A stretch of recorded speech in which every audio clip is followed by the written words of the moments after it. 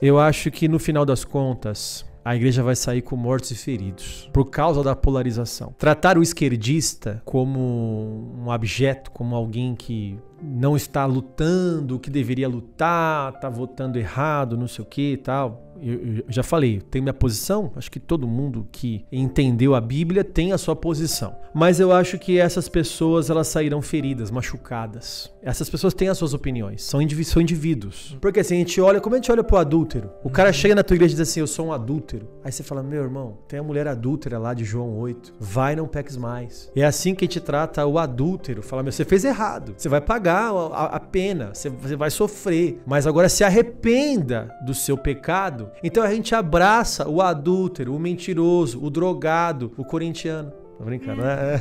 É, brincadeira. aí. É, é, aí não. E aí, só que a gente acaba não usando o mesmo trato com aqueles que talvez têm dificuldade de enxergar o óbvio. Eu acredito que essa polarização está sendo prejudicial.